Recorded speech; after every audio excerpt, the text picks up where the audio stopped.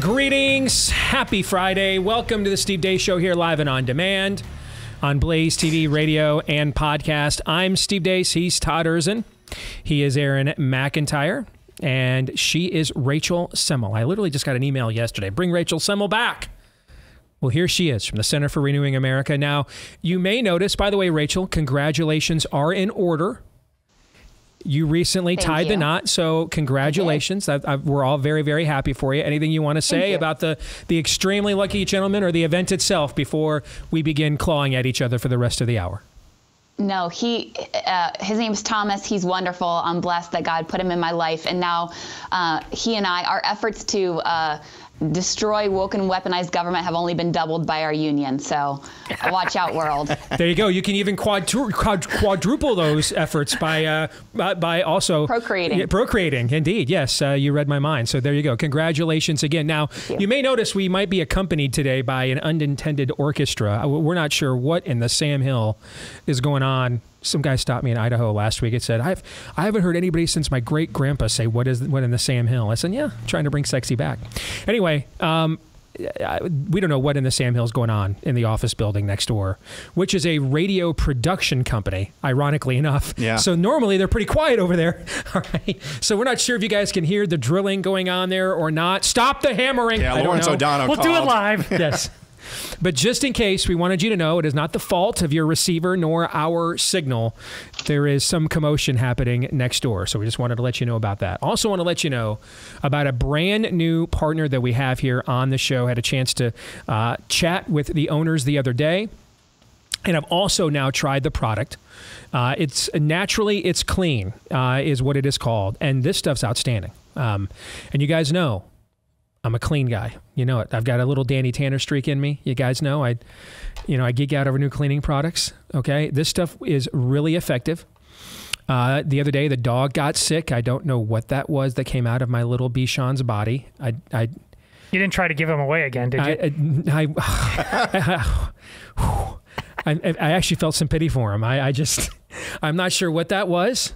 It was not normal. It is was certainly most not mammalian. I don't know what it was. I thought maybe the aliens had landed in my living room, and they were sort of cone shaped, if you know what I'm saying.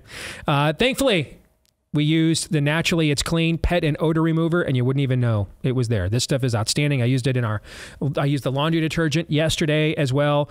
Uh, great products. They have specialized formulas for every area of the home with powerful plant based enzymes. These are hospital grade solutions that won't reek of nasty chemicals at the exact same time. The starter kit features four of their most popular products.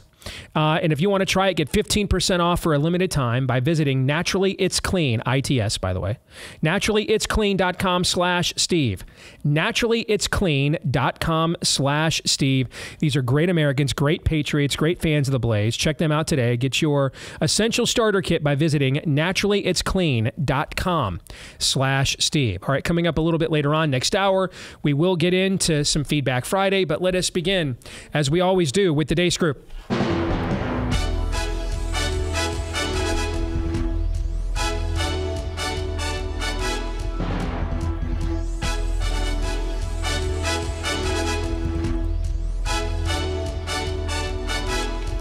Your weekly look at the week that was begins, as it always does, with issue one Bleep, Lord Nefarious says. so proud of uh, Sister Roma and her work uh, in the community, and I'm proud of California for standing strong uh, in, uh, to support uh, LGBTQ people as our community is under assault uh, in the rest of the country.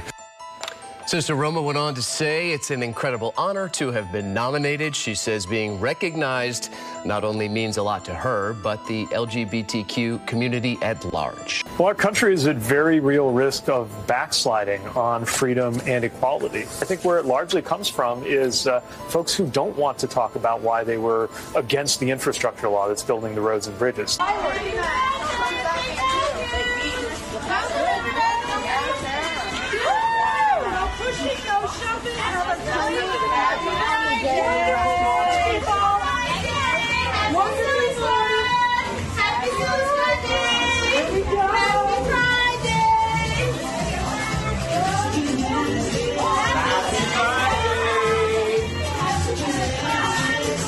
A teacher in the district. I also teach at LUSD. I have two students in the district, and so I deal with a lot of their trauma related to the heteronormative Judeo-Christian patriarchal imperialist capitalist system that oppresses them.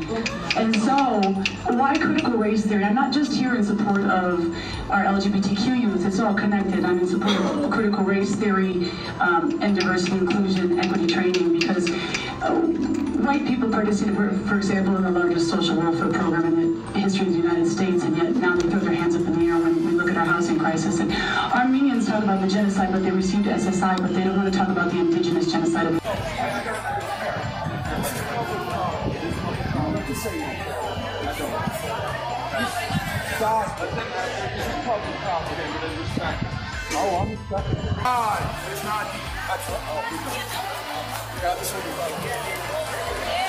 if the problem is that, oh, people aren't going to be able to upload things that Republicans are saying, maybe Republicans should stop saying it.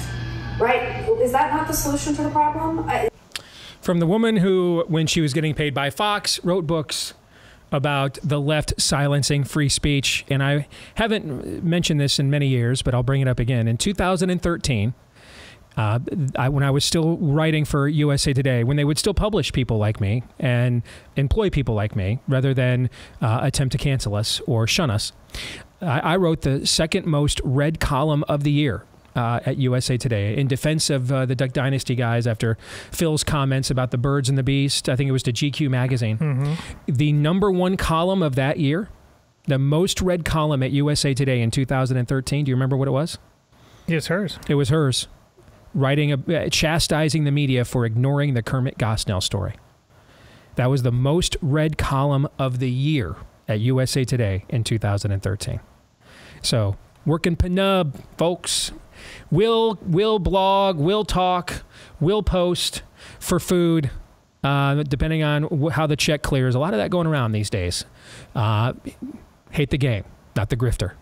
Let's get to the first question. Rachel, ladies first, plus you're the guest, so you get the first crack at it. What was the most vile and disgusting thing that you just saw?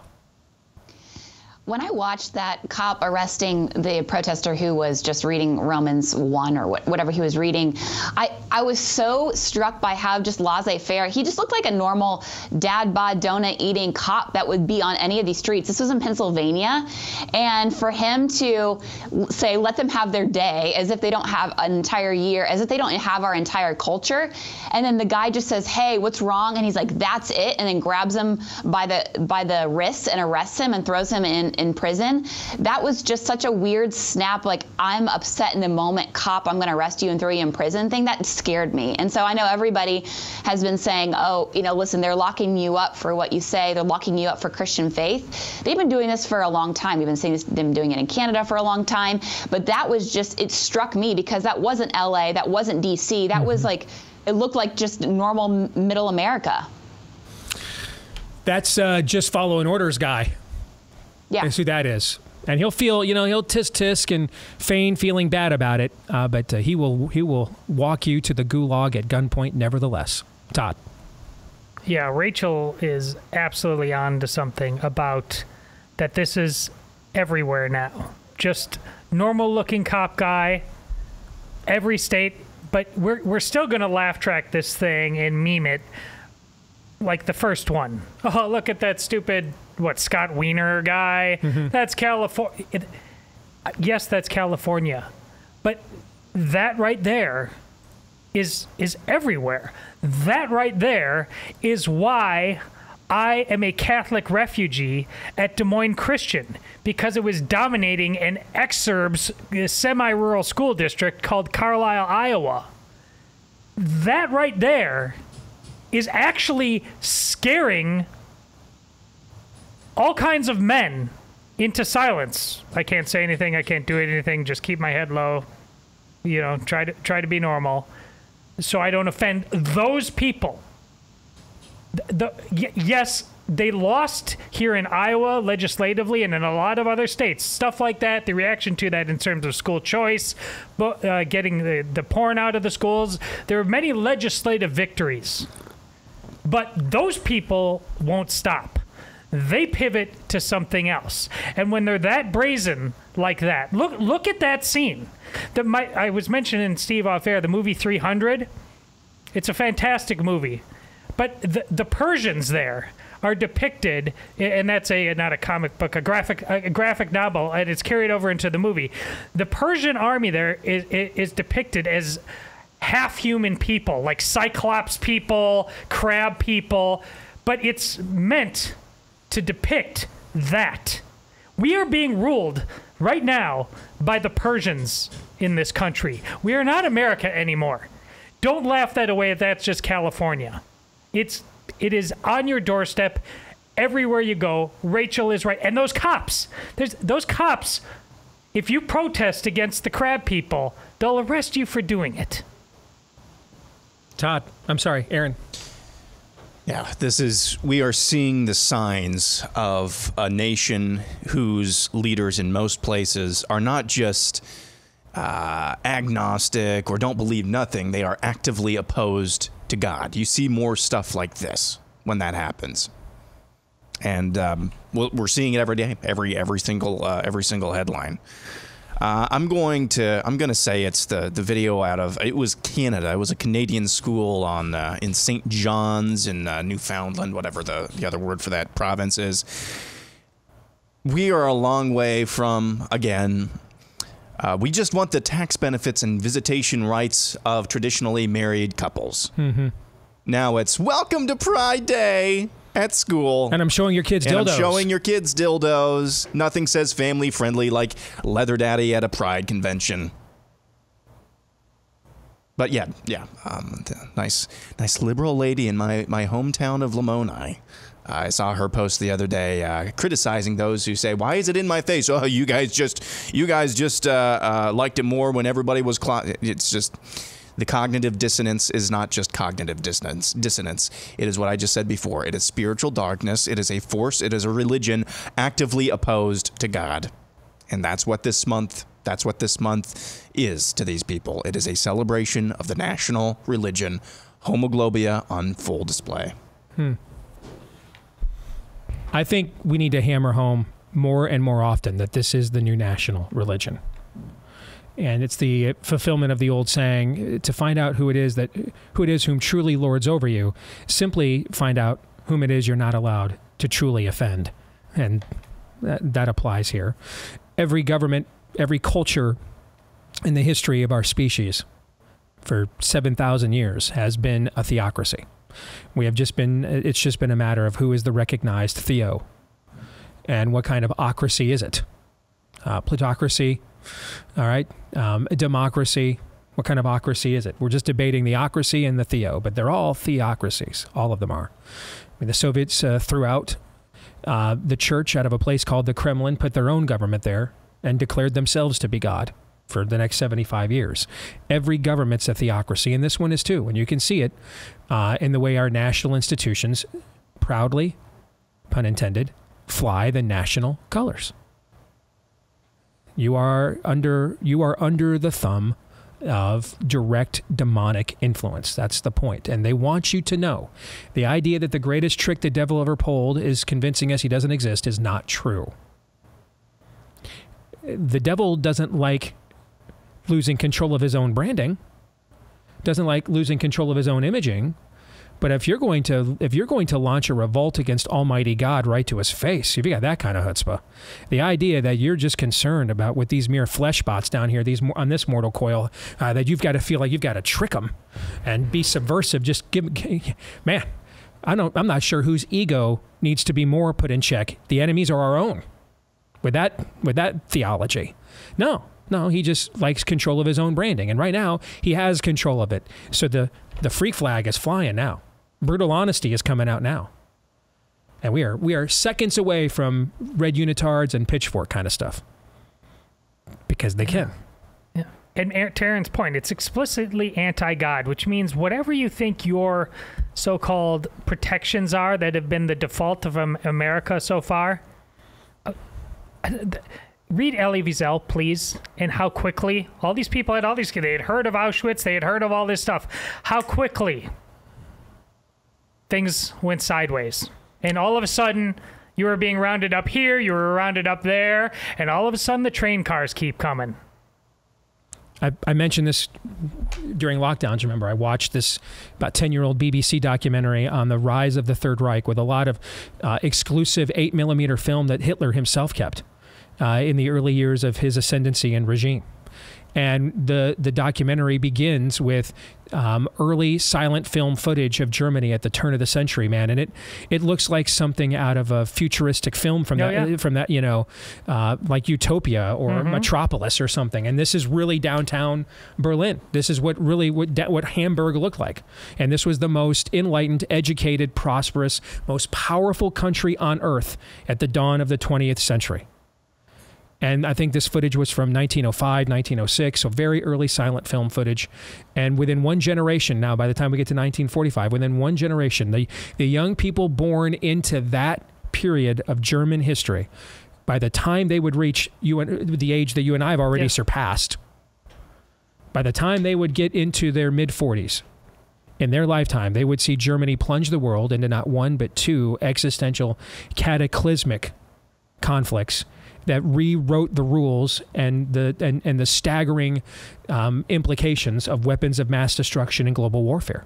Whether it was the use of gas and the and the and, and airfare for the first time in World War One, or the use of blitzkrieg and atom and atomic weapons and you know huge bombing runs over long stretches of sea that were never possible before in human history in World War II.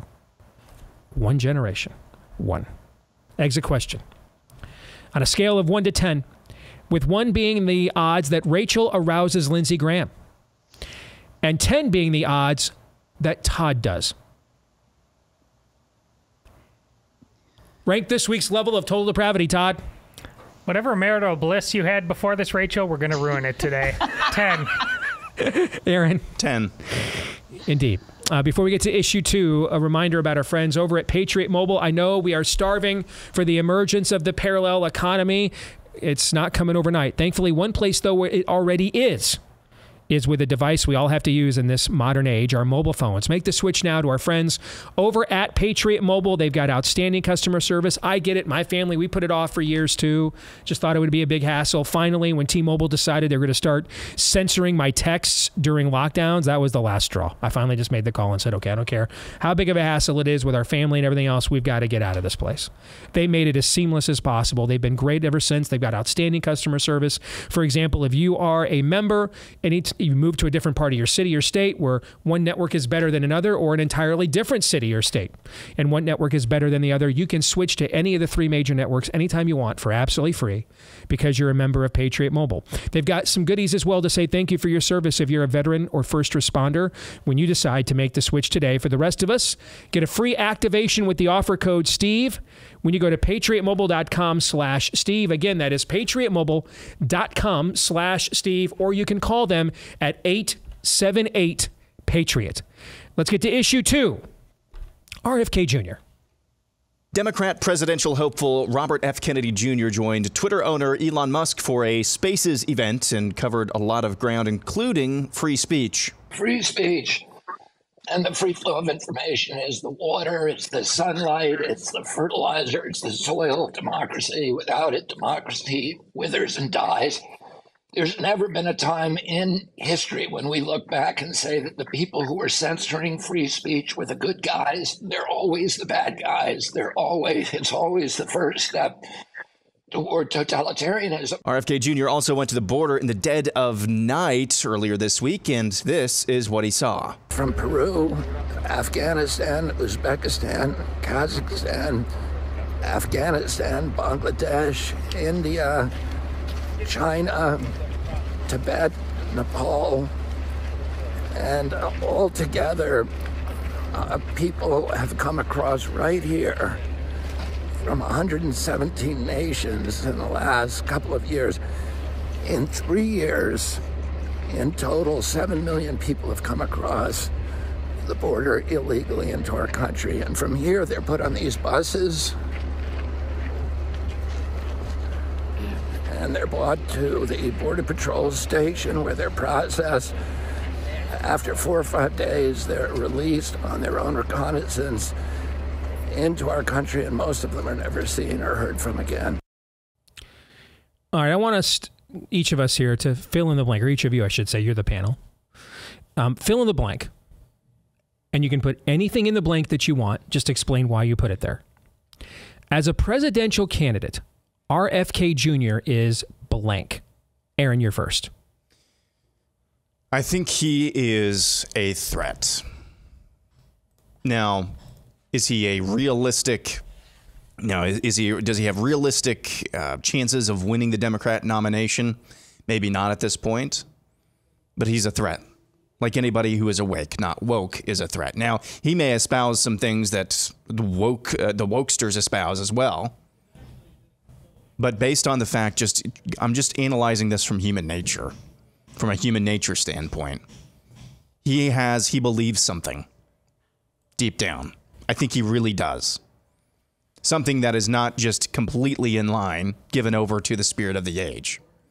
And in this day and age in our society in politics, nihilism reigns, which means anybody who believes anything other than nihilism is a threat. Mm-hmm. So that's why I believe the blank there. Regardless of what the threat. otherism is. Regardless of what the otherism is. Yeah. Rachel, what do you think? I think RFK Jr. is cathartic because I am loving the fact that he is making all the right people uncomfortable. We can be, our people can be righteous on Ukraine. Our people can be righteous on the deep state, and nobody really listens to them because they're, quote, our people. So mm-hmm. the fact that RFK can go on and say, yeah, uh, you know, take a look at the border. Or I don't know if you guys saw his interview with Cavuto yesterday, which he was like, listen, we've all killed 300,000 kids. Cavuto leaps out of his seat nearly, as is possible for Cavuto, and says, no, wait, you mean the Russians, right? And RFK Jr. would not let him have any sort of room on pushing back about how we need to be over in Ukraine. So I'm with Aaron. I don't know how successful he'll be. To be honest with you, I don't think they, they being the people that killed his dad and his uncle, uh, will have uh, the, will let him play this out. But man, that guy is so righteous. I'm afraid to look under the hood on some of the issues like life and climate change because I know I'll probably find something I, I disagree with. Mhm. But he has been very cathartic for me to get somebody like Neil Cavuto very uncomfortable in the in, on this show. That's well said. Todd? Uh, he, he's Saw Gerrera. That's a great analogy. He's from Rogue, Rogue One, uh, played by um, forgive me. I just watched that this week, actually. What's the actor's name? Uh, Forest Whitaker. Forest Whitaker. Thank you. Yeah, and there's a great line in the trailer for that movie that didn't make it into the movie itself, and I don't really know why, but it's by the main uh, character when she says, "We're rebels, aren't we? I rebel." Like this, are we serious about this or not? I don't know what it was about him actually being uh, damaged by uh, vaccines. And Rachel's right; he's not a conservative in the way he's not a conservative at all. But like, listen, like, why are we even applying that label or that standard to him? Uh, Whatever that thing is. He's is, what Aaron talked about earlier. He's just not a nihilist. he might be a, a, a liberal non-nihilist, but uh, he is not. He he is aspirational. He is not a nihilist. Right. Yeah.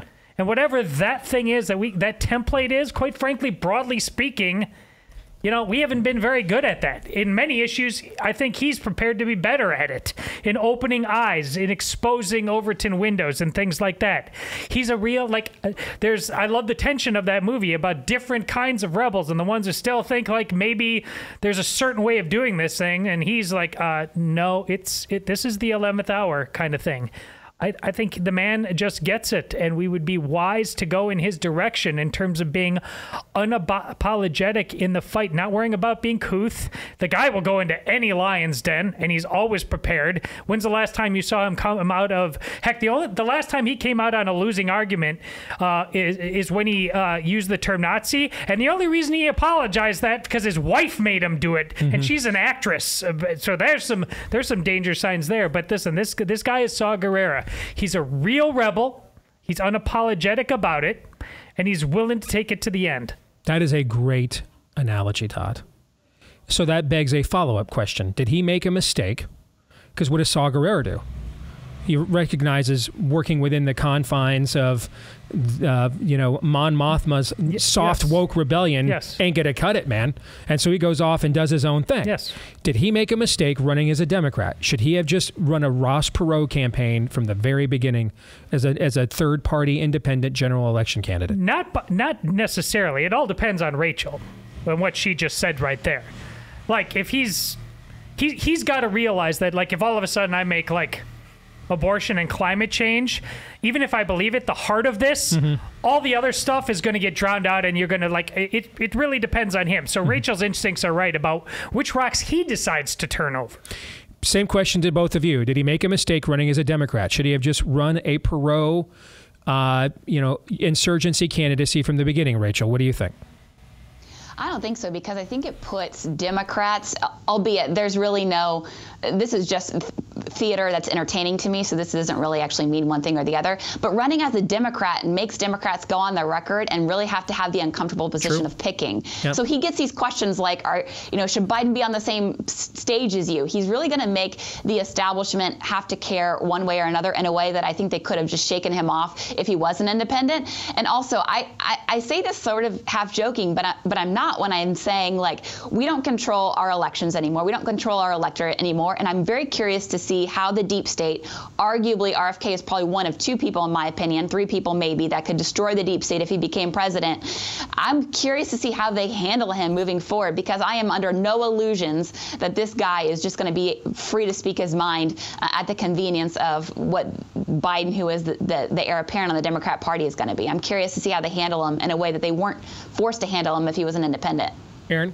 Yeah, absolutely not. He didn't make a mistake by running as a Democrat, if for no other reason than his last name. You're going to force hmm. the Democrat apparatus to tarnish the Kennedy name as kooky anti vaxxers. Good luck. Absolutely. That is a great point. That's a great point.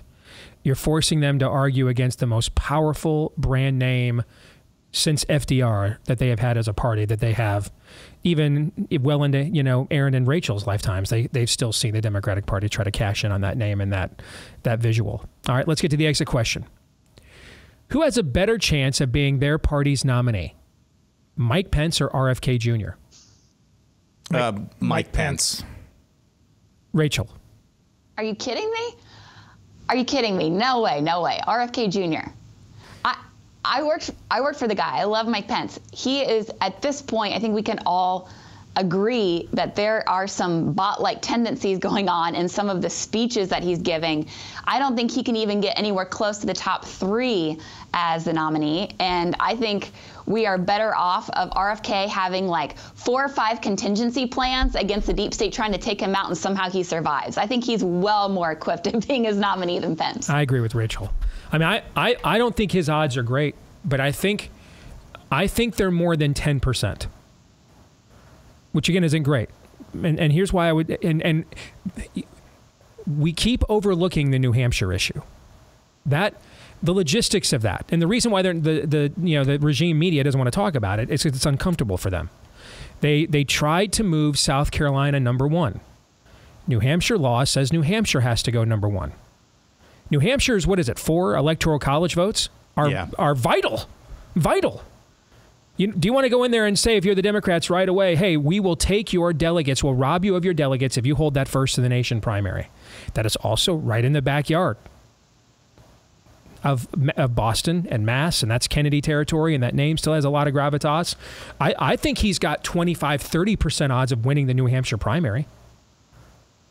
Now, whether those delegates count or not, it's a very delicate situation for the Democratic Party. And I think that's why it doesn't get discussed. I think most people still don't know South Carolina is first in the nation for the Democrats because this has not been discussed a lot. His candidacy poses some real problems with them there, and they are not, this is going largely unnoticed. The gladly quadruple jabbed Democrat Party is going vote for Ken. No, no, it's impossible. I could see a scenario where. RFK could win New Hampshire if Biden never bothers to show up. I could see that. Now, what it means moving forward, maybe nothing. I don't know. All right, when we come back, another indictment looms we will discuss next.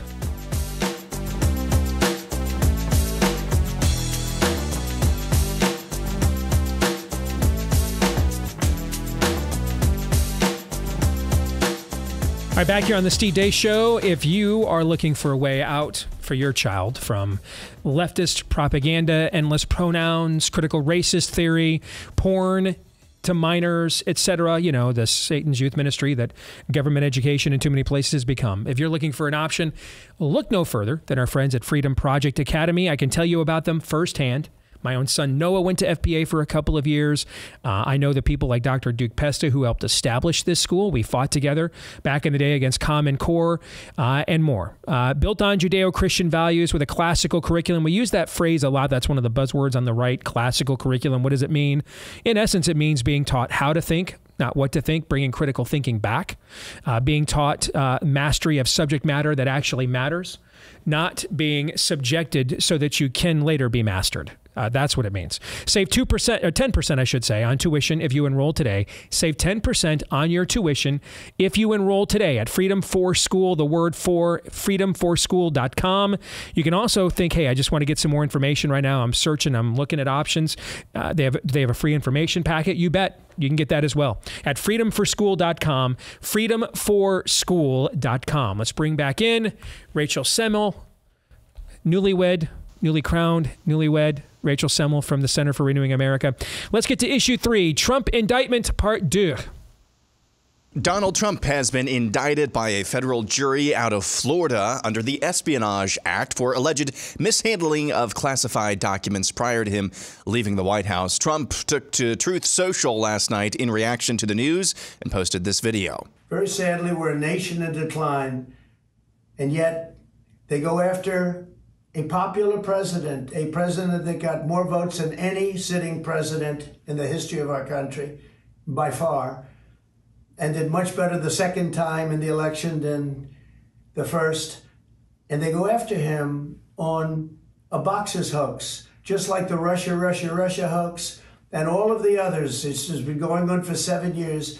They can't stop because it's election interference at the highest level. There's never been anything like what's happened I'm an innocent man. I'm an innocent person. All right. So couple of things on this, just to clarify some things, because we don't know the full indictment yet. That's supposed to come out on Tuesday. Uh, it, it, there was a, some speculation would there be just one big? There was never really any denial that there would be a DOJ indictment. This is something that we've been talking about on our show with our friend Julie Kelly from American Greatness, pretty much this the entirety of this year. Uh, the question was, would how encompassing would it be? Would it include uh, the January 6th stuff they're trying to they're trying to they're trying to pin on him? Would it just be these documents? Um, and now it appears that they have made these two separate issues. The, the issue in Miami will just be about the documents, as Aaron pointed out, and still the January 6th stuff to come uh, will come later uh, with the D.C. Star Chamber. Uh, Trump uh, got about 43% of the vote in Miami Dade County in 2020. Why is that relevant? Because evidence doesn't matter. Um, and when with a politicized uh, judiciary. All that matters is the ideology of the potential of the uh, potential jury pool and the, uh, the the or the appointed judge, whoever will be the one rendering the final or the ones rendering the final verdict here. So there is a jury pool there where, at least by a sliding scale, he could get some form, at least I guess fairer. I don't know if I'd say the word fair. How about fairer than what will happen in Manhattan? In Manhattan, he will be convicted of felonies. I mean, he only won 12% of the vote there uh, that jury pool that indicted him on 34 felonies, um, they're going to convict him. Uh, he will be convicted there next year. I don't, I don't, know how there's even much doubt about that. Uh, he'll be found guilty of uh, being named Donald Trump. Uh, so there's more we could say. I put up a pretty exhaustive Twitter thread about it earlier today. Um, uh, just I know a lot of people have a lot to say about this. Rachel, I want to start with you. Having worked in the Trump administration, obviously, we should give you first crack at this, and the floor, sister, is yours. Go ahead. Well, yeah, your tweet thread was very good, Steve, and I encourage everybody to read that. I think for those who are sick of the noise, sick of the headlines, indictment this, Trump that, and they're kind of just maybe even to, to extent to the same extent that I was during RussiaGate. Like, wake me up when it's over, and it's hard to understand exactly what happened last night when you step back and say.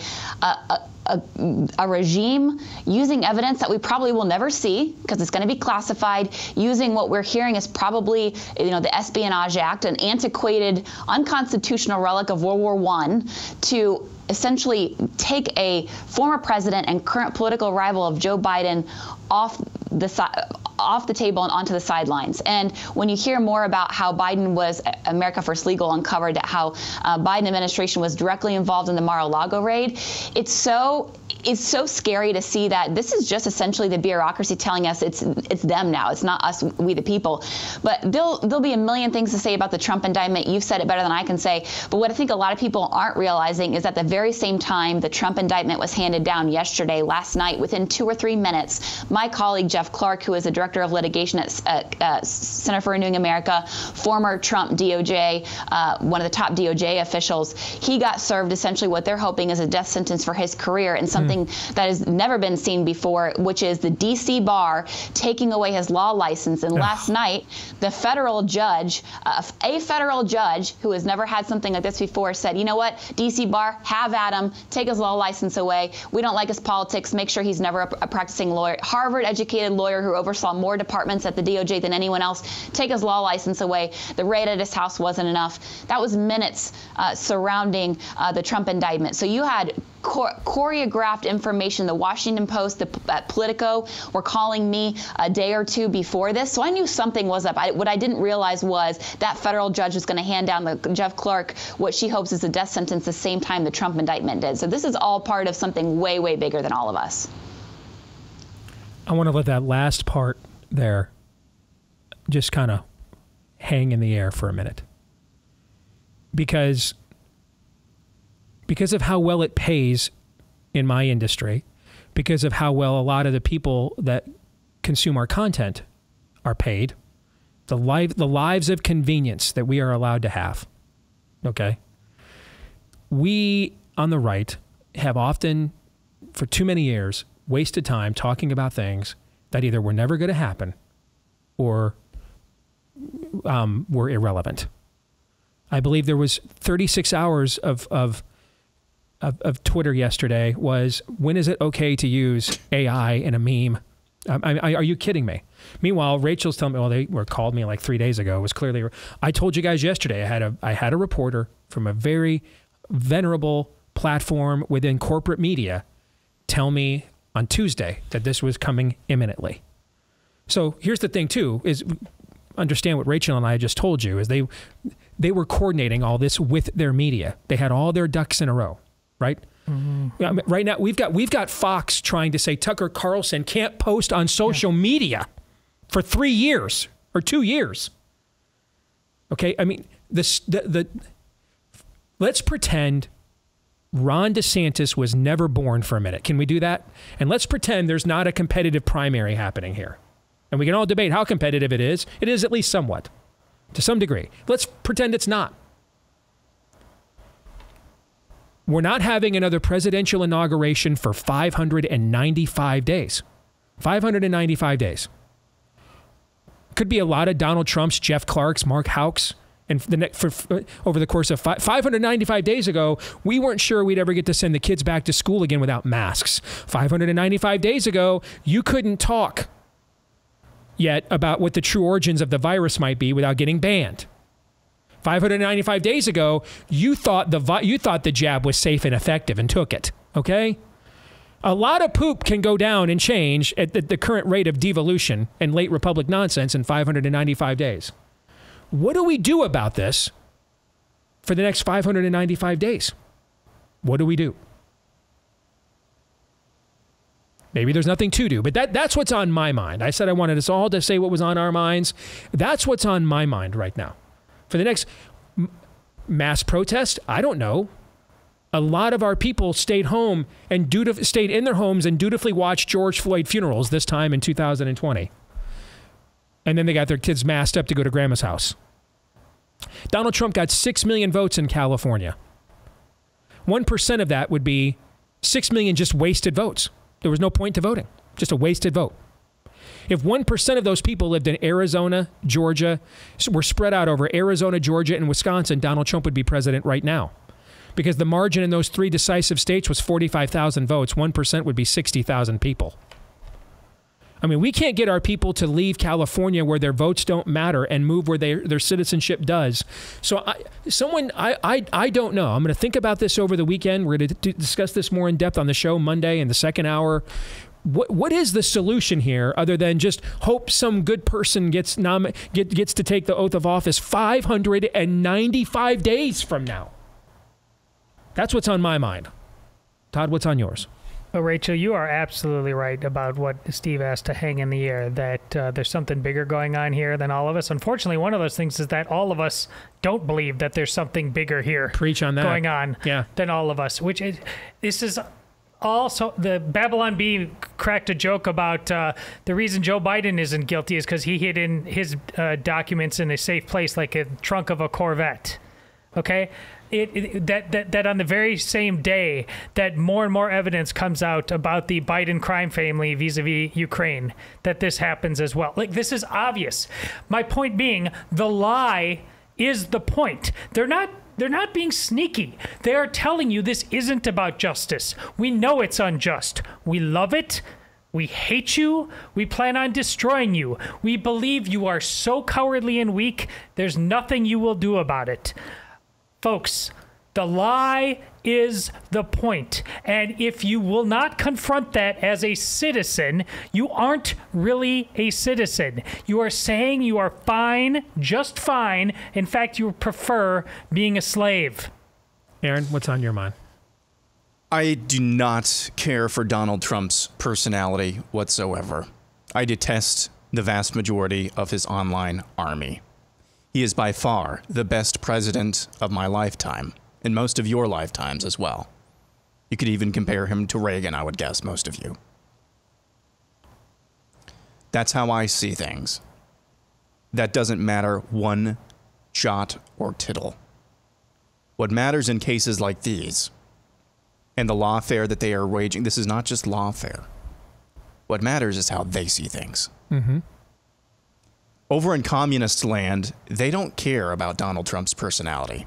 They don't care about these intra party squabbles that we have on a daily basis. Like using an AI image jokingly for five seconds in a montage. They, they, they don't give a rip about that. What they give a rip about is punishing you. Absolutely. And this is a gateway. They are opening up a portal here. They are opening up a portal with the whatever this is that they've got cooking up. And we'll find out here within the next, I would say, 60 days or so, probably, about whatever they're coming for him on January 6th. They are opening up a portal by going after him on charges like this, with tortured legal theory like this, and the, the 34 sham felonies in New York City. They are opening up a portal here to come after you and me. Ask Mark Houck. Ask Jeff Clark. Getting photographed in his underoos because the FBI, because he, because he dared ally himself with somebody who allies himself with you. They are opening up a portal to hell on earth. Here. You don't have to draw a very you don't have to draw a very long line at all or very many lines at all between what they're doing to Donald Trump here regardless of what you or I or anyone thinks about him. You don't have to draw very many lines here to what they're attempting to do with Donald Trump and what they would like to do to you and me here in flyover country. That's the reality and that's the stakes we're playing for. Guys, I don't have time. Okay? We have very little time left mm-hmm. for circle jerks. I don't have very much time for that. I'm 30 years old. You know who has no time for that if we continue to play the circle jerk game? Just, hey, let's get our jollies off over the latest uh, fight. I got in on it a little bit yesterday, too. You know, just because I couldn't stand seeing a, a senator amplifying this BS about AI images. You know who has no time at all? My two year old, almost two year old, who's at the zoo if we continue going down this road where we do not get serious about what's really happening here and start formulating answers beyond, hey, let's get our latest talking points, you know who's going to have zero time at all? It's it's that two year old and, and you guys as kids as well. Mm-hmm. That's the stakes we're playing for. Let me close this with some good news. I just got an email from Steve Crampton, who is the senior counsel with the Thomas More Society. They're one of the venerable legal. They represented uh, Mark Houck. Yes, one of the ver- venerable legal foundations on the right. Just a quick word to follow up on your coverage of the outrageous of, arrest of Damon Atkins in Reading, Pennsylvania last week. They've already dropped the charges. We were geared up to aggressively defend him in the case, and he and we were informed yesterday that the charges against him had been dropped. So you do provide a little sunlight some aggression and push back, you still can get some W's, but you have to be willing to push back. Let's get to our kicker topic because if it's spring, it's budget season, so we need an alien psyop all right. And man, now the aliens are malevolent. Now they're landing in someone's yard in Nevada, right? We came out with this uh, whistleblower from the in, from the from the IC, and it, it, didn't rate at all. So they keep you know doubling, tripling down very quickly. Tell me, what would it take? What would the government have to to do to get you to believe in extraterrestrials? Todd, show me one. That's a good place to start. Rachel, what about you? What would the government have to do? Uh, nothing. I'll, I'll be honest. You guys may not know this. You are talking to somebody who has been to Area 51 twice in her life. Right outside Area 51 is a little town called Rachel, Nevada. So, of course, I ran the extraterrestrial half marathon there twice in a row to see with my own two eyes at midnight if there were aliens. I saw none. So, as far as I'm concerned, I, I didn't see any. There's nothing the government can convince me of otherwise. Very good. Aaron, go quick. I need to see an extraterrestrial ra- uh, uh, uh raising and waving a, a, a pride flag. A Ukraine flag or yeah. a pride flag? Yeah. Okay. All right. That's predictions. They got to be really quick. Aaron, go. Uh, Donald Trump uh, will continue to run for president, and he will be the nominee, regardless of any of this. Rachel. Uh, Steve's uh, Michigan Wolverines are probably going to win the national championship this year, and I there say that only only to what say. What are you doing, Rachel?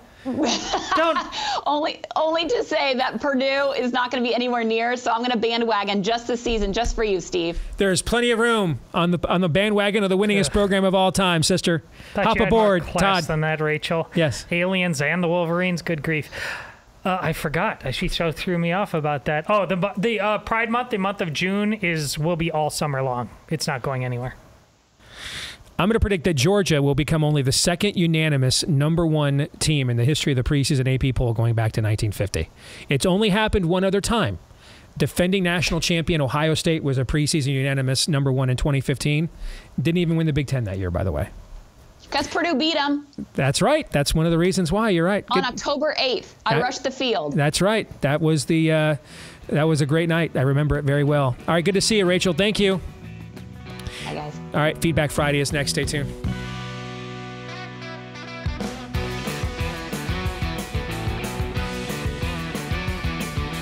All right, back here with hour two, live and on demand on Blaze TV, radio, and podcast. Steve Deace here alongside Aaron McIntyre, Erzen, and all of you. And all of you, although hopefully not all at once, can let us know what you think about what we think via the stevedeace.com inbox. Email the show, steve at stevedeace.com. That's D E A C E. Like us on Facebook, MeWe, and Gab. You can follow me at Steve Show on Twitter, Gettr, Instagram, and TikTok. That's again D E A C E. You can also um, find me on Truth Social at Real Steve Deace there. For all of you that listen via the podcast, we appreciate each and every one of you so very much please, if you wouldn't mind, show your appreciation for us by uh, leaving us a five star review, if you like us, of course, uh, hitting subscribe, or if you listen on iTunes, follow. And those things help to boost the show, not to mention our fragile male egos, and that's why we appreciate each and every one of them we also need to appreciate our livers a little bit more. It's one of the key organs in the body, and more stress is placed on it as we get older. And that's where our friends uh, over at uh, Pure Health, that's where they come in uh, because they're concerned that 100 million Americans may have what is called fatty liver, which means you're at risk because we throw everything at our livers these days cholesterol, alcohol, toxins, Tylenol, statins. Still, about one out of every five Americans still smokes cigarettes. That's why a lot of times we have a sluggish, fatty liver, can make us gain weight, lose energy. And now it is time to help your liver that's been helping you with 500 key functions each and every day with the solution known as the Liver Health Formula, an all natural supplement which contains 12 clinically proven botanicals that help to recharge and protect your liver. Manufactured right here in the USA by American doctors. If you want to try the Liver Health Formula and receive a free gift, uh, their nano powered omega 3s to keep your heart healthy as well. Just go to getliverhelp.com slash Steve. Once again, head over to getliverhelp.com slash Steve. Getliverhelp.com slash Steve. All right, you guys ready for some Feedback Friday? Yes. Yep. Okay. Let's begin with Karen. And before you said gird your loins, this is a good one. This is one of the good Karens. Uh, Karen writes The friends and I just rented Nefarious. I had mentioned this movie to them, but the closest it came to our neck of the woods was a theater in Wilmington, so we waited for it to come out on streaming. My friends are not believers, so we wanted them to definitely see it. We were all going to watch it at the same time, but they thought it was, they saw that it was available and rented it on their own. Here were their comments. Quote, it was amazing. I kept going back repeatedly to view sections again and again. So tonight, we all watched it together and unanimous. It was amazing. My friend stated clearly, I need to buy this DVD and the book. As I left, I said, maybe y'all should think about going to church. Just saying. The chasm is getting wider between good and evil. We need to reach out in creative ways to those we care about. And Nefarious is a great example. Karen, thank you. Uh, you made my day. And I have, I mean, I'm approaching a thousand emails like this. I, I've, I've, I can't respond to them all. I, there's been too many. I've, I have kept them all, though. I want you guys to know I have kept every single one. I created in my email account a folder specifically for nefarious feedback. Um, because who knows? This may be the only time I ever do something like this in my life. And I wanted to remember uh, all of all of you that uh, let me know how much the movie impacted you or people you know, and how much you appreciated it. So, thank you so much, Karen. Um, we have received some incredible feedback about this film. I, I'm not at liberty to tell you guys the numbers, but I will tell you our first five days of revenue on streaming before we even got on Amazon, which is Amazon and iTunes are or YouTube are the three big ones in streaming. And depending on who you talk to, it is, is whether they get ranked one, two, or three. By some uh, metrics, Amazon is number one. So this was even before we got on to Amazon. And our first five days of revenue was incredible. I just got this call last night. Just blew me away when I heard the number. So maybe maybe our investors got a fighting chance here. We'll see. okay. Um, but the key thing that that means is people are, are more people are now seeing it too, or seeing it again. So if you've yet to see Nefarious, now man, Amazon is not helping us. Um, I, um, you know, I'm not.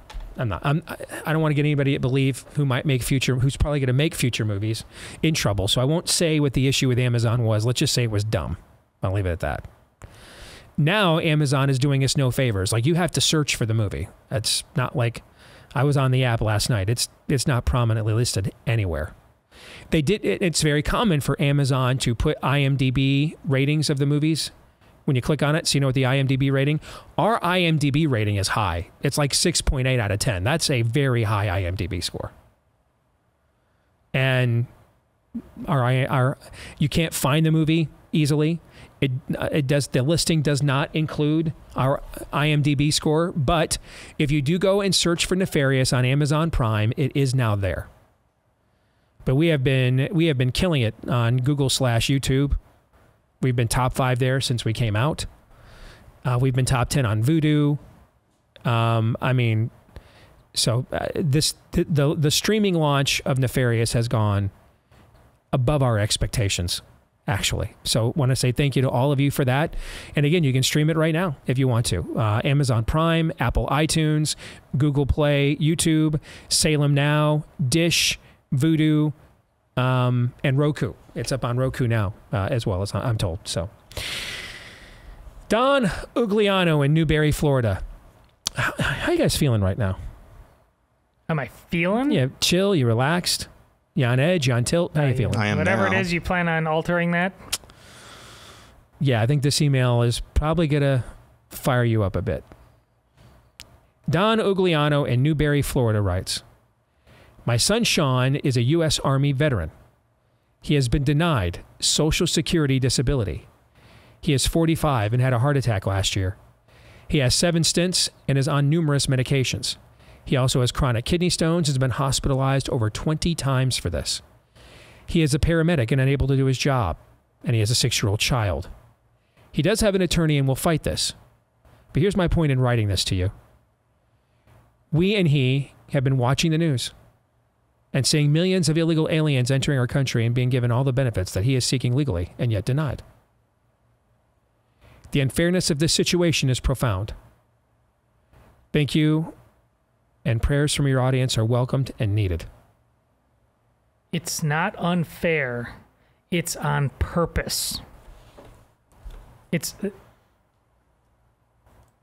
the lie is the point. They hate you. They want you to suffer. It's all by design. And yes, thank you for pissing the hell off of me. Yeah, if you had just calmed down after the conversation we were having about the Trump indictment last hour, that heart rate's back up a little bit now, isn't it? Good grief.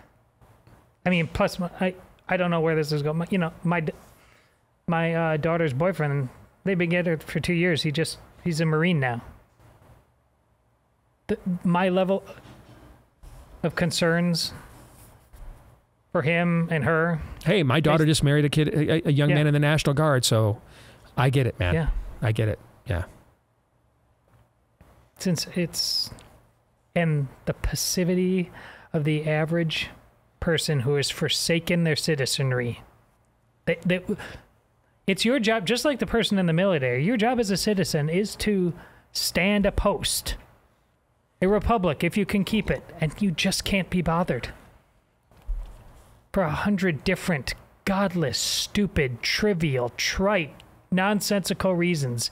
You can't be bothered while they trans your kids, while they poison your children, mind, body, and soul, and your military men. It's never ending. Everywhere you turn, there's there's something worth fighting for, and no one will do it. What Todd just said is critical to understand. The, the mind of the opposition, the enemy that we are up against. And I would add this as well.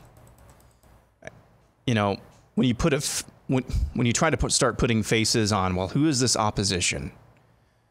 You know, it it can go a number of different directions, some of them helpful, some of them not. But I think what helped me understand this enemy that we were, are up against progressivism, spirit of the ageism, what have you. I said last hour it is fundamentally not just godless, but recognizing God and opposed to Him. Right. Like Those are anti. anti-God. Yes. Yeah. These people, whether it's the corrupt DOJ going after Donald Trump, whether it's any number of community leaders in your small to large to medium sized community, they're on the school board, they're on the city council, county commissioners, what have you. They're all around you who are totally bought and paid for by the spirit of the age. They do not want to merely conquer you. They don't even want to kill you. They would rather enslave you if you are opposed to that spirit of the age. Those are two different things. Typical conquerors, a Genghis Khan like, they just want to conquer you, they want to kill and destroy. Those opposed to God are fine with you dying, yes, are fine with killing you, yes, are fine with putting enmity between you and your kids, yes. They have so much contempt for you that they would rather enslave you, though, rather keep you under their thumb. They don't really have much power over a dead body. That is what we're up against. Understand that. And they are hellishly, deathly devoted to accomplishing this goal. Look around you. I think you just drew a very important distinction that is biblical. The Bible draws a distinction between a lack of faith and unbelief. A lack of faith and unbelief. Let me make let me let me draw a political parallel. when I was Aaron's age and getting much more active, I've always been active in politics going to back to high school, but now in my adult years, and Aaron's uh, about to turn 30, and so a family and then those sorts of things. We've got kids and stuff now. The the the tip the argument was that we had on the right and the left is is what is and isn't constitutional. Okay is something maybe well intentioned, but it's it's it's unconstitutional. It's not. It, it, it doesn't align with the Constitution. What we have now is is we're doing things that are anti-constitutional. The the intent mm-hmm. is to undo the the previous constitutional framework, not to debate its reach or expand its reach, or even to some degree redefine it, but to undo it. That's the that, and that's what, what I mean by a lack of faith and unbelief. The unbelief is the intent to undo that which was already done. And that's the era in which we live now. To put a finer, even finer theological point on it, a lack of faith equals sheep. Unbelief equals wolves. Feed sheep, shoot wolves, metaphorically speaking. Feed sheep, shoot wolves. Because what will the wolves do if permitted to have access to said sheep, they will devour them because the wolf is a predator and the sheep is lost. To borrow a line from one of my favorite theologians that I've quoted many times over the years, St. Augustine, there are many sheep without, even more wolves within. Let's continue on a Feedback Friday. This is from Mark. As two dads of women approximately my age, I was hoping that you would be able to provide me some advice with a situation that I am currently facing. Since January, I have slowly gotten to know a wonderful Catholic woman and her family, and I really think we could be a good match. She checks off more boxes than any other woman that I've met so far in my life. She has seemingly given me some positive signs, but I'm nowhere near confident that she is interested. Her parents definitely like me, and I would think perceive me as someone worthy of their daughter. The only hesitancy I have is the age gap. She is 18 and will be entering college in the fall, while I am 23 and will be and have been out of college for three years now. Dude, you graduated college at 20? Because a lot of people nowadays, when they go to college, are on the Ryan Reynolds plan, and they ain't pre med. If you know what I'm saying. Okay. It took me over 10 years to do yeah. a bachelor's degree. I am pretty well established and am ready to start and support a family. How do you feel about this five year age gap? Also, do I have any obligations towards her parents before I do anything since I've come to know them along with her and her siblings? Pretty much every week after Mass, I have conversations with both of them and obviously their, their daughter and her siblings. I want to be as respectful as possible, but also not make it into a bigger deal than it, ha- than it is. I'd appreciate any advice, uh, as I think you guys are both in the perfect position to opine on how you would feel if a guy like me approached you about one of your daughters. I'd also appreciate if you guys would keep my situation in your prayers. I really want to be a husband and a father one day, and I've wanted that for as long as I can remember. I'm just hoping to, that uh, this is his daughter and that he has decided to entrust this one to me. That's from Mark. You want to take this one first? The age gap is utterly unco- unconsequential. It's not a gap. It, it in terms of just time. Uh, but whenever the time comes, to have that earnest and honest conversation about simply you know what her plans are were before you even came along at the age uh, of 18 and how some of them may or may not change and whether that's okay. That that's that's a life thing. That's not an age thing but I, there's you you had a pretty detailed email but there's more details I would need to know about you know what you know, going forward in terms of, you know, I don't know, school, career, all those things. That those are the variables that you need to be open and honest about. But it, the, the raw numbers, you're, you're tell, 18 and 23 with a shared value system, worldview. That that's that's not that's not a gap. You're the same. Look around you.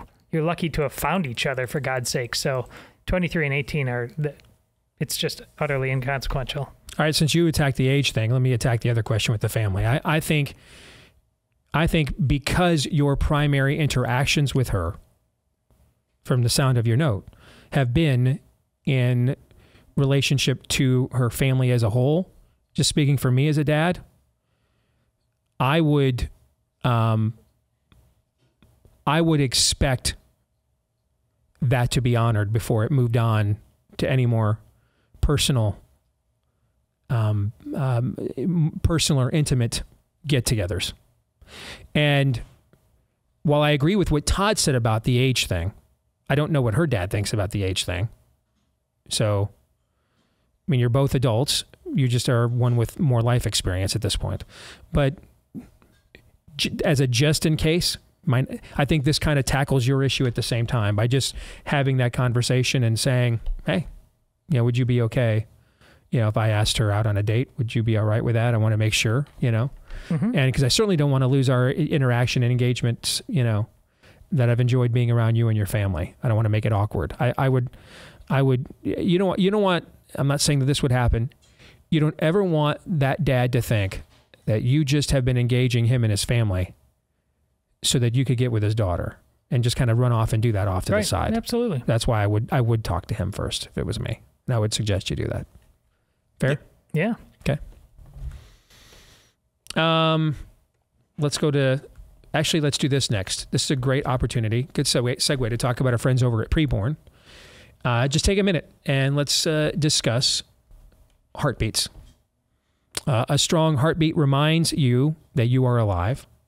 And it is the same with our unborn children. And that's why Preborn has built the truth part of their ministry around the heartbeat, confronting mothers. It is a confrontation. It might be gentle in terms of its temperament and tone by say my show standards, but it is a confrontation nevertheless to confront that mom with the heartbeat of her child so that she doesn't go through with killing it at about 80% of the time when confronted with that knowledge that that's a real person she's carrying. Moms moms don't go through with it. But then there's the grace part and I love that I love that preborn does them both. They provide the services and the support that moms still in crisis need whether that's prenatal care, postnatal care, even car seats, counseling, and all of that is free of charge because of tax deductible donations from people like us. Our goal this year is to is here at the Blaze to partner with Preborn to save 70,000 babies in 2023. Help us reach that goal. Uh, just dial pound 250 on your mobile phone and say the keyword baby, pound 250 and say the keyword baby on your mobile phone. Or you can call them at preborn.com slash Steve. Once more, that is preborn.com slash Steve. All right, let's move on. Um, this is from uh, Jack. I am wondering if you could provide any actionable steps I can take to positively move Georgia or any state into the right direction, like you and those with you have been able to do in Iowa. I'm a big fan of Jordan Peterson. I've thus tried to make my corner of the world better through various high school guys, small groups, and volunteering. However, I feel like it would be all for naught if Georgia descends into a woke cesspit. If you were a 26 year old Georgia boy with no real connections, little money, and an already thinning hairline, what would you do? Second question What would Steve say to modern churches' utter disregard for today's young men? We have a generation of guys flocking to somebody like Jordan Peterson or even an Andrew Tate because they want something. Instead of capitalizing on this and challenging young, young men to take up the crusade that God has made for them, we do nothing. Well, the second question is part of your answer to the first one, brother. Now, I didn't know who Andrew Tate was until he got arrested. What was it? Um, Romania or Bulgaria, one of those co- countries. Okay. I had no clue who the guy was, you know? But um, after he got arrested, I looked at some of his stuff. And uh, Andrew Tate is, is sort of this Bronze Age warped view of masculinity that you will get in response to femininity.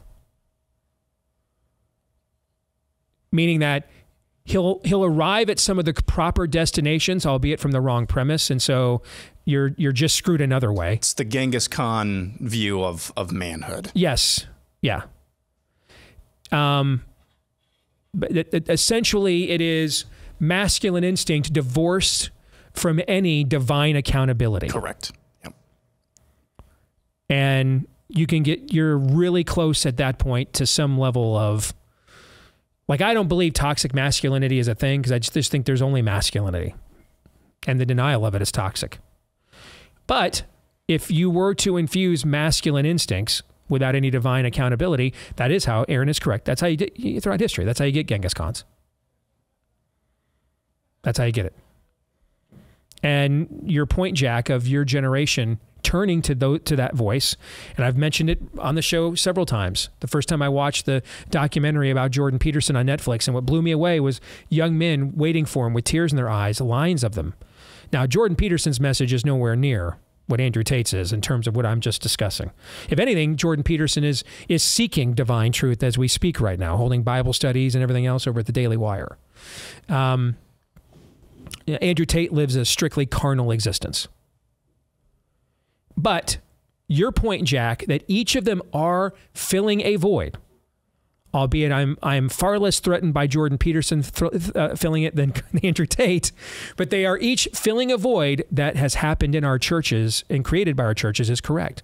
The reality is, and just take this as you know, um, a lot of the men in our pulpits are not men that your teenage sons want to grow up and be like. They're just not.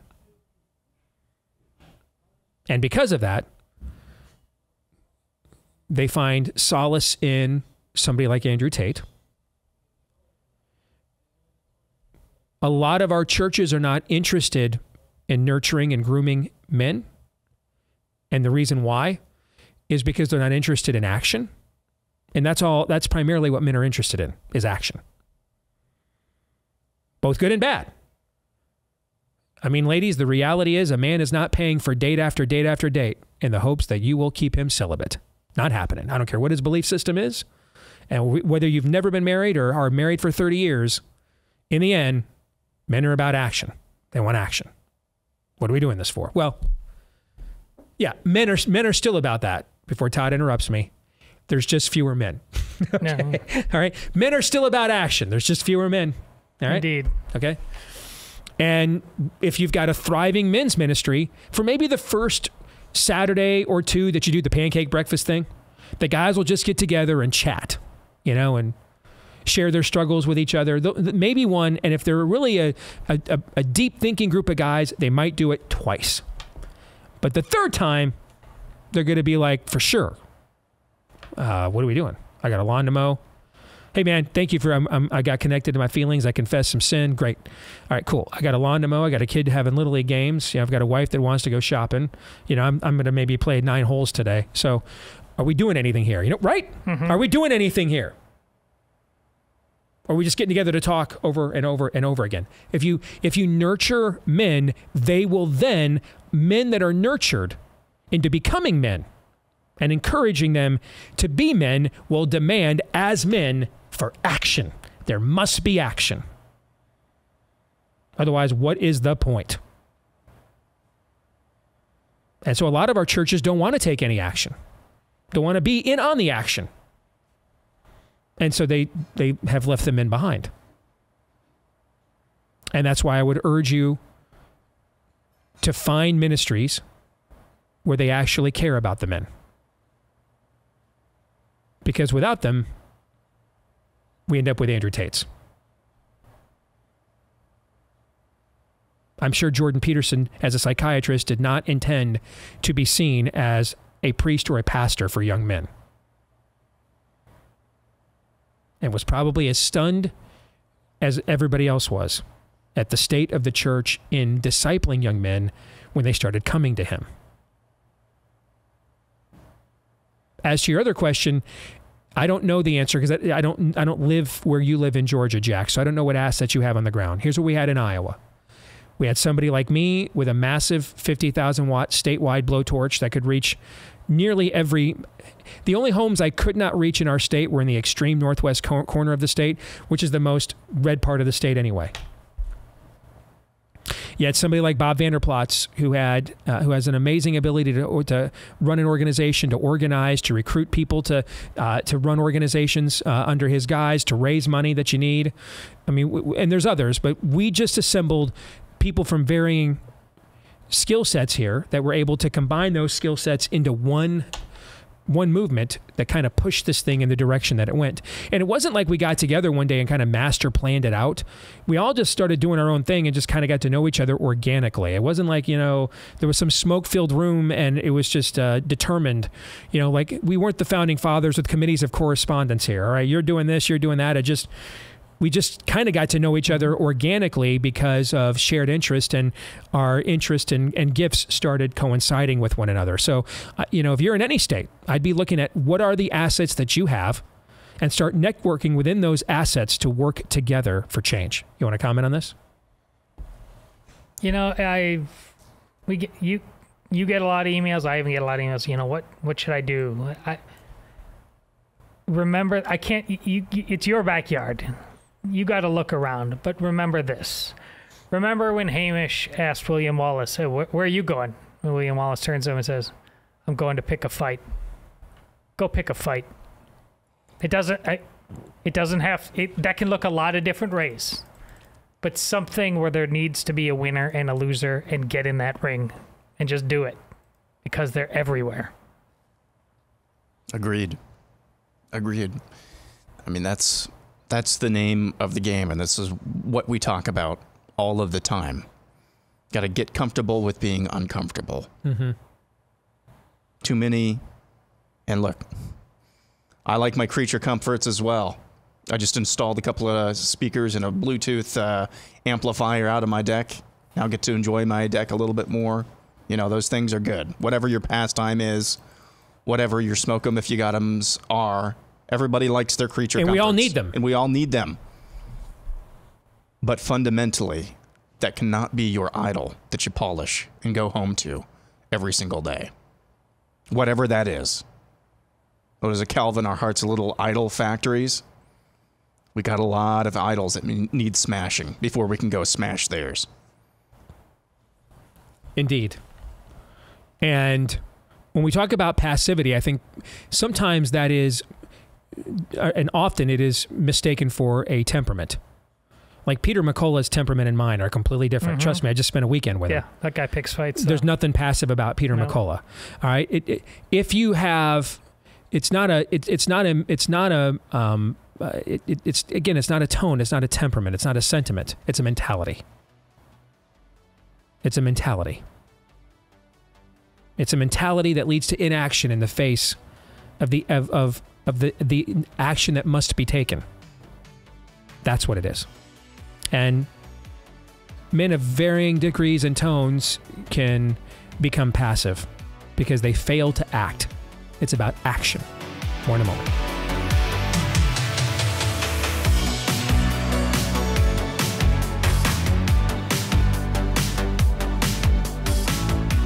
Okay, everyone deals with pain from time to time. It's one of the few guarantees we have in life, along with death and taxes. Happy Friday from our friends at Relief Factor. But they're not here to leave you in the lurch, they won't leave you hanging.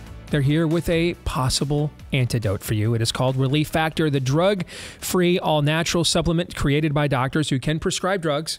Who noticed that a lot of the chronic pain they were seeing in their practices was because people had too much inflammation in the body and they want to do something about that. So they did with Relief Factor. And they are so confident that it will work for you that they offer it to you for the first three weeks for just 20 bucks. Why? Because about 70% of the people that get it after three weeks are like, the results I've seen, I'm, I'm sticking with it. And if you want to put them to the test for just 20 bucks, I mean, you've tried everything else, right? And, and maybe you're one of those people. My wife was telling me about somebody who takes Tylenol like every day. That might work, man, but that puts some strain on some of the uh, the other parts of your body to be taking that daily. What if there was an all natural answer instead? Let's find out if there is. Go to relieffactor.com. That's relieffactor.com. Get the trial pack for just 20 bucks. Relieffactor.com or call them at 800 4 relief, the number 4. 800 4 relief. All right, back to some feedback Friday. I'll get right to it. Thank you for speaking about the need for church leaders to stand up and bring to light the prominence of abortion in church congregations and the need for healing. Thankfully, I attend a church where our pastor is passionate about equipping our, our congregation to be actively involved in the communities. You'd like him a lot. I was in my early 20s when I found out that my mother had an abortion in her life before Christ. In 2019, when I saw the movie Unplanned, I knew that I had to do something to be that person that wasn't there for my mom when she was in crisis. So in 2020, God brought me back to Him after some brief wandering, and like many people, I had a renewed sense of purpose. I started to volunteer at my local pregnancy center, and after a series of events, I now serve in post abortion care. Specifically, I serve at our retreats, an all expense paid weekend getaway for women who have had abortions to have space to seek deeper healing. That's great. The stories I've heard while serving have been nothing short of horrific. Abortion, in my experience, isn't usually the first stop in a life spiraling to hell. It is part of a much wider web of evil abuse, assault, addiction, demonic influence, and oppression, even. I've seen God's amazing healing power in the lives of the women I have ministered to. I've watched women become completely broken as they tell their stories, but then over the course of the retreat, weep tears of joy as they understand that Jesus not only forgives them, but wants to heal them. It's the most difficult ministry I've been a part of, and it isn't one that people are honestly very excited to talk about at fundraisers. Yet it is here that an intense battle rages, and here where the church can shine the light of hope and love into the darkest corners of a soul that is broken and despairing, just trying to crawl through life with a gaping wound. I will note that 50% of abortions are repeats. And so, it is also the most rewarding ministry I've been a part of. According to my mother, I have in some way contributed to her own healing by being involved in this. Please let your audience know that these ministries exist and that we need prayer. I've never experienced the level of literal demonic attacks in any other ministry that I have been a part of. Satan not only wants to destroy the lives of these babies, he also wants to destroy the lives of the mothers, the fathers, and other family members that abortion leaves in its wake. Most CareNet pregnancy centers offer post abortion Bible studies and counseling, so please let the audience know they can reach out to the organizations if they are seeking help. Again, that's CareNet Pregnancy Centers. Thank you for sharing about this issue. Lives have been and will continue to be saved because of what you guys are doing on your show. Continue to have the courage to stand in the light during these dark times. That is from Laura. She did exactly what I told uh, that guy just a letter or two ago what you did is you looked around right in front of you there and you picked a fight. Mm-hmm. It's like you're helping others, but you're helping. You're picking a fight against the dark, just murder of innocence. You're in the ring there. The spiritual darkness is obviously clear. This is what we need to do in in terms of it being a ministry. Here, there's all kinds of um, uh, ministries. S- Steve has been uh, on one um, to Haiti, but uh, uh our notion of church ministry has very much been about us taking it's almost like the uh, be, be, all you can be in the Navy. Like part of the benefit of being part of the Navy is not getting to go sightseeing and tour the world. Like mm-hmm. you, there there are ways you can help. I don't say those things altogether, but look around you here, where you live. The darkness that is going on in your own backyard in this country. It is everywhere. This church right now is still delusional that you know we are kind of the the great hope and we're supposed to export what we're not taken seriously across the world in many respects unless we're giving them something you know stuff helping them and people need stuff but right here in our backyard you have the right idea there is a ministry right there, right now, to heal this land and this people right now. I want to speak to, uh, in light of Laura's note, I want to I want to speak to two groups of people, pastors specifically, and men in general for a minute. Let's start with the pastors. If there are any of you in this audience who are not confronting people with with their unrepentant mistakes, heartaches, failures, you are not loving.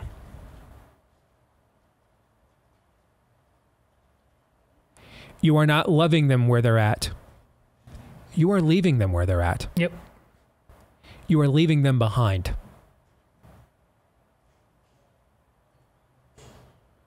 the Lord confronts to cause repentance. The Lord causes repentance to cause restoration.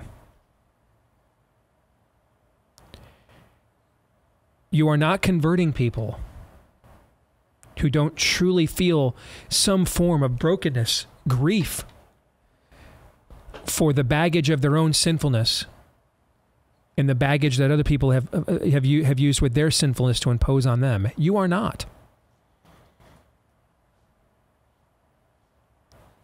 That is a lie.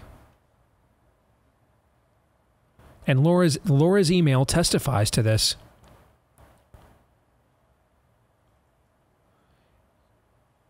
You know, our audience grows all of the time.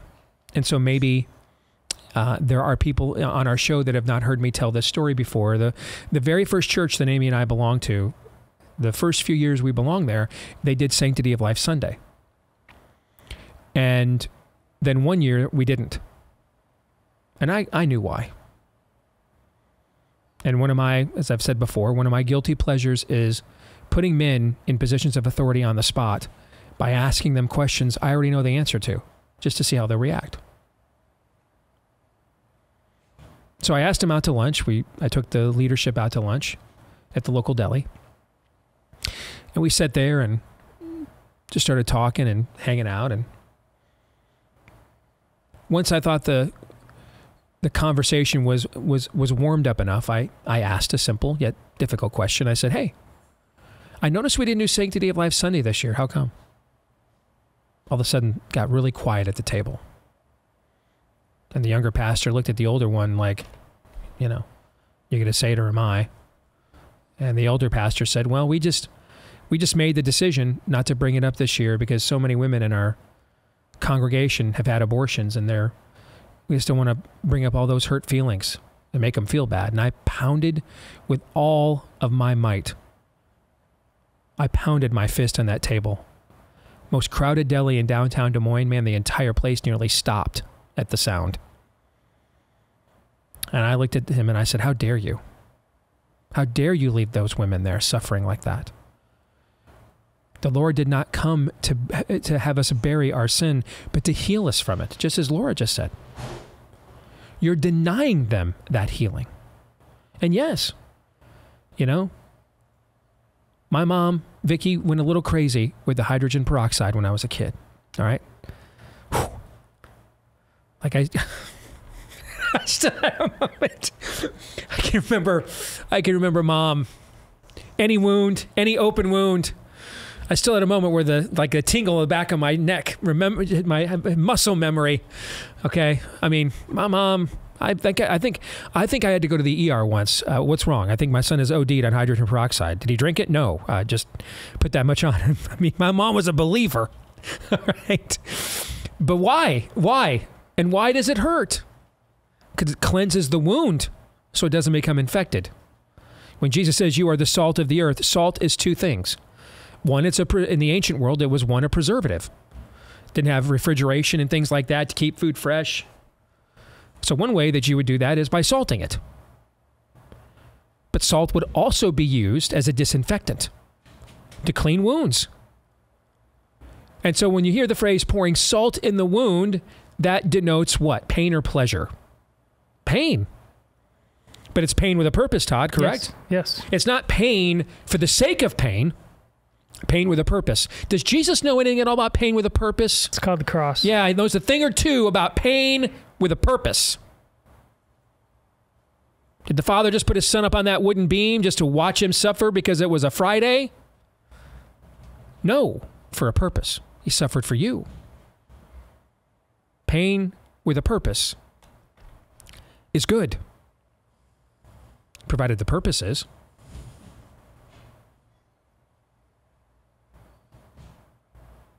Yes, the conversations will be painful and awkward at first. But that's how we get to healing later. And the kinds of testimonies that Laura just shared with us.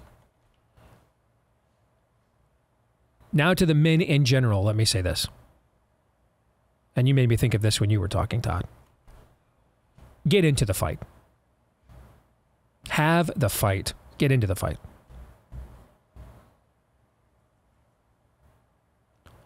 For this fight will be had with or without you. And your families and your children and your grandchildren will be the stakes that the fight is being had over, with or without you. At the very least, let your loved ones find you fighting for them. No guarantee of success. I mean, I, I can't sit here and tell you. I can't sit here and tell you that America will be revived. I, I cannot tell you that. I mean, God even allowed his own people, Israel, to fall into evacuation and disbursement, into collapse. Because they earned that collapse.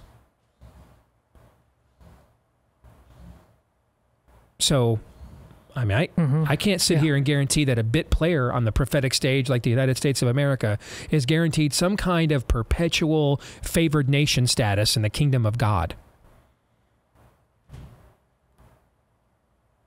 But nevertheless, I do know this, though. I, I don't know.